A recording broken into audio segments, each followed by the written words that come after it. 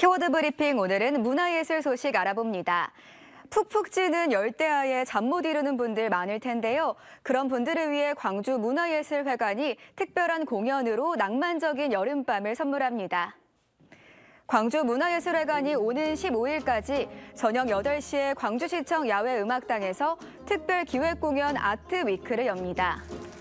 오늘은 시립국악관 국악 관현악단이 소리꾼 이은비 씨와 국악경연 프로그램 우승자 김산욱 씨를 초청해 함께 무대를 꾸미고요. 내일은 시립창극단이 한국 무용과 남도 민요, 단막 창극 등을 선보입니다. 토요일엔 시립 소년소녀 합창단이, 다음 주 목요일과 금요일엔 시립 발레단이 공연합니다.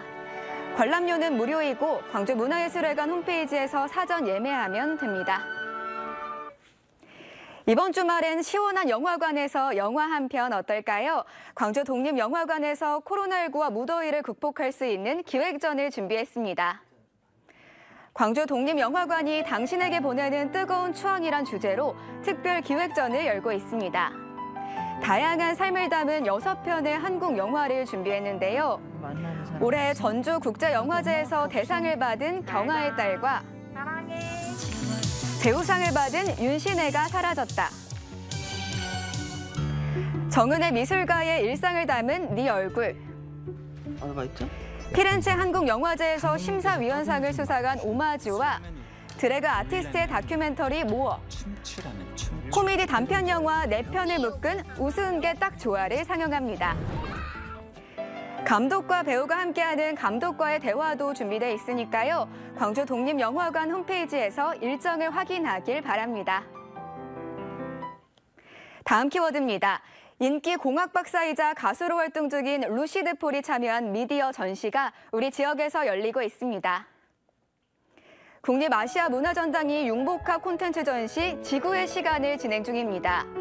대화형 영상과 소리로 풍경을 그려내는 soundscape와 공감각적 몰입형 영상 등 첨단 디지털 기술을 활용한 미디어 아트를 체험할 수 있는데요. 인류에 의해 파괴된 자연 환경과 이로 인해 급변하는 지구의 연대기를 표현하고 있습니다. 지구의 시간은 올해 11월 6일까지 국립아시아 문화전당 문화창조원에서 무료로 관람할 수 있습니다. 이어서 우리 지역 작가의 신간 도서 소개합니다. 호남 최초의 여성외과 전문의 최명숙 원장의 암을 넘어 살림으로입니다. 33년간 암 전문 외과 의사로 활동하고 있는 최명숙 전문의가 암 환자 자연 치유 가이드북 암을 넘어 살림으로를 출간했습니다.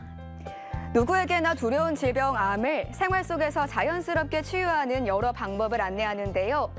몸과 마음, 영혼의 치료와 일상 속 실천 방법으로 구분해 설명합니다. 환자의 식이습관, 생활, 그리고 마음을 바꿔야 건강한 삶을 얻을 수 있다고 강조하는데요. 판매 대금은 실비보험이 없는 암 환자들에게 기부된다고 합니다. 지금까지 키워드 브리핑이었습니다.